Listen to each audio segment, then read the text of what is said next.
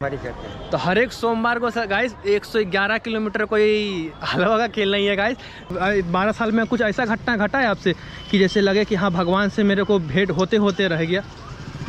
कहानी को कोई कहानी मतलब कैसे आ रहे थे कैसे क्या हुआ पूरा? विस्तार में थोड़ा बताइए।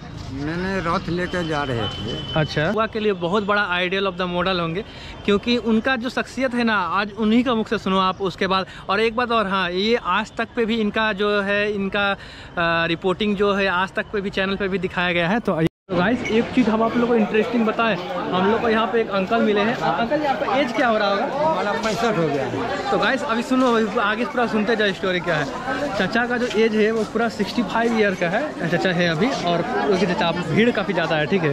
तो गाइस फिर आप लोगों को बता रहा हूँ चाचा जो है पूरा सावन का हर एक सोमवार मतलब एक पूरा चार सोमवार पड़ता है और हर एक साल पिछला बारह साल से दौड़ के आ रहे हैं। सिर्फ़ चौबीस घंटा में एक सौ ग्यारह सोलह घंटा मासिक। मतलब चौबीस घंटा में नियम है आप सोलह घंटा में मार देते हैं। सोलह घंटा तो सोच लो गाइस 16 घंटा में 111 किलोमीटर कोई हलवा नहीं होता है वो भी प्रत्येक सोमवार का सोमवार। तो गाइस देख लो इनका अगर आप लोग को विश्वास नहीं हो रहा तो इनका पीछे दिखा दे रहा हूँ गाइस। ये देखो इनका पूरा संख्या नंबर दिया हुआ है डाक बम नंबर और इनका पूरा एड्रेस वगैरह सब कुछ लगाया हुआ है यहाँ पे। तो आपको हर एक सोमवार आके कैसा लगता है? मतलब बहुत इतना मतलब इतना भगवान के प्रति इतना श्रद्धा के- मतलब कैसे जगह आपके अंदर? हम जो है ना हाँ वो बोलते महा- महादेव के दया से मनोकामना जो करते हैं हाँ। पूरा हो जाता है। पूरा हो जाता है? पूरा हो जाता है। अच्छा। कोई चीज़ का फ़र्क है ना कोई दुश्मनियों भी करता है तो हमको फ़र्क नहीं पड़ता। अच्छा अच्छा। इसीलिए तो हर आप आप, आप ये मनोकामना माने हैं क्या कि जब तक हम हो सकेगा आते रहेंगे? जब तक पहुँच सकेंगे हाँ। तब तक हम आएँगे अच्छा।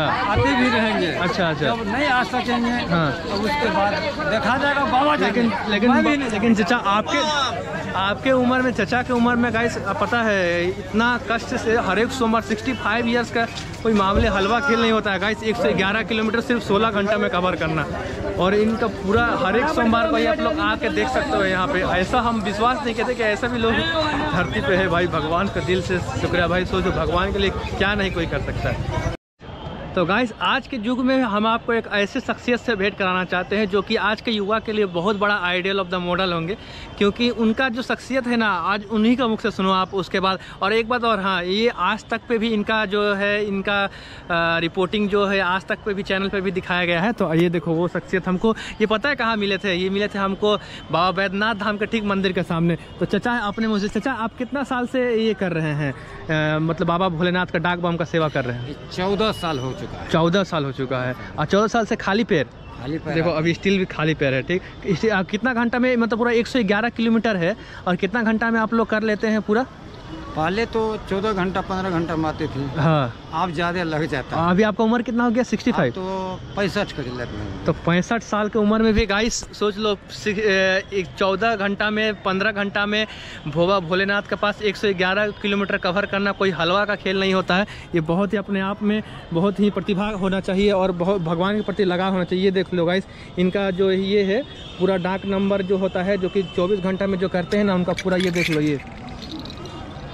पूरा ये एड्रेस वेड्रेस सब डाक बम डाक बम भी लिखा हुआ है देख लो और पूरा एड्रेस जो कि है ये सारा का सारा दिया हुआ रहता है इनके पीठ पर लिखा हुआ रहता है और ये हर साल पिछला और और एक बात गाइस और एक बात ये अपने खुद से बता रहे थे चाचा हमको मतलब हर एक सोमवार को आप आते हैं? हर एक सोमवारी करते हैं। तो हर एक सोमवार को गाइस 111 किलोमीटर कोई हलवा का खेल नहीं है गाइस तो ये इनसे हम लोग बहुत प्रभावित होते हैं और इसको दिखाने का मकसद यही है कि आप लोग भी आप हम लोग का जो युवा है आजकल वो कि आजकल बहुत सारा दुनिया में दारी में अलग चीज़ में फंस चुका है तो उसे बाहर निकले और ये जो ऐसे शख्सियत है गाइस इनसे कुछ प्रेरणा लेकर हमारे युवा भी आप युवा के लिए कुछ कहना चाहेंगे जो युवा को कहेंगे जो सब हमरे ऐसे करे हाँ और शोभा बढ़ावे अपने अपने घर में हम्म। और समाज को भी हाँ। शोभा बढ़ावेगा सबको मैंने जो लक्ष्य देगा तो कुछ आप आप अपना तरफ़ से कुछ एडवाइस देना चाहे तो दे सकते हैं आप एडवाइस हम क्या देंगे हम तो यही कहेंगे जो बाबा के दया में। मैंने सब कोई उसको मनोकामना करे उसके पूजा करे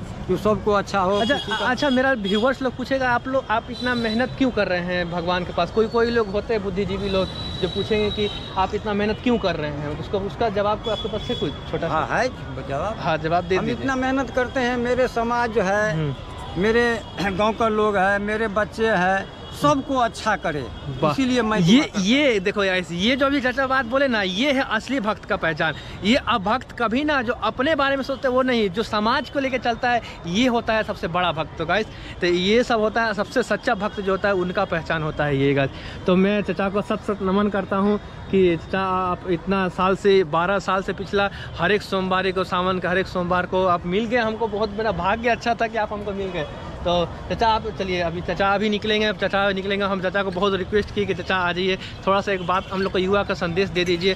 तो चचा आए थे हमारे कहने पर सिर्फ़ आ गए चचा। तो अभी निकलेंगे बासुकीनाथ के लिए नहीं? बासुकीनाथ के लिए निकलेंगे और ये युवा का हम कहते हैं सब मेरे ऐसे करो। सब इनके जैसे करो। तो गाइस ये बहुत अच्छा संदेश दे रहे हैं अपने लिए मत करो। दस जो समाज होता है वो जो अच्छा रहेगा तो हम भी अच्छा रहेंगे। अच्छा जी जी जी। तो एकदम ये बहुत ये है एकदम असली असली भक्त का पहचान गाइस और इससे ज़्यादा कुछ नहीं भक्त एक चाहता है अपने भगवान से कि वो अपने पूरा जगत के लिए माँगता है यही है होता है असली भक्त का पहचान गाइस तो चचा मैं आपसे बहुत बहुत ये मतलब गर्व से मेरा सीना चौड़ा भी हो गया है और भोलेनाथ का जयकारा लगा के हम लोग आज का इस बोल बम, बोल बोल बम बोल बम। तो हम नहीं आ पाएँगे। लेकिन आपसे भेंट हो गया मेरा लग रहा है कि हमको साक्षात भगवान से भेंट हो गया। आप आप सब ऊपर वाला सही बता रहे अच्छा हाँ चाचा हम आपसे तो एक बात पूछना ही भूल गए। आपका कोई ऐसा घटना घटा है आपके साथ जो कि लगे कि हाँ भगवान आ, आपको हम्म, मतलब बारह साल में कुछ ऐसा घटना घटा है आपसे कि जैसे लगे कि हाँ भगवान से मेरे को भेंट होते होते रह गया? को कहानी तो कोई कहानी मतलब कैसे आ रहे थे? कैसे क्या हुआ पूरा? विस्तार में थोड़ा बताइए। मैंने रथ लेकर जा रहे थे। अच्छा। तो ऐसा बाबा जी आया हम्म। कि उसको देखे ना हम्म। तो हम सोचे जो बहुत ये है मगर हम पहचान नहीं सके उसको। हम्म। जब वो चले गया हाँ। तब मेरा ध्यान आया। हम्म। उफ, बाबा था वो। वो उसको हम ढूँढने लगे। हम्म। चार घंटा ढूंढे मगर कहीं नहीं मिला। अच्छा। बासुकीनाथ में वही हुआ। हम्म यहाँ भी वही हुआ। बासुकीनाथ में भी एक ठो बोल बम के ड्रेस में आया था। हम्म। तो उसको हम बोले जो भाई भटासन पानी है वहाँ और खाना भंडारा चल रहा है खाना खाना है तो चलो खा लो। कहता बोल बम हम खाना नहीं खाते हैं। खाली पैसे ले लो तो पैसा भी मैं नहीं लेता हूँ पैसा हमको बहुत है। उसको भी मैं चिन नहीं सका। इसीलिए जो परमात्मा को सब जब चिन जाए तब तो बहुत कर लेगा और उसका बहुत प्रक्रिया होने लगेगा। हम्म। तो अपना आप को हम पहचान होने लगे बाद में हमको पहचान आया जो बाद में आपको ध्यान आया कि हाँ ये कोई आम आदमी नहीं हो सकता है ये कोई ज़रूर भगवान का कृपा है जो कि ना जाने किस रूप में नारायण मिल जाए।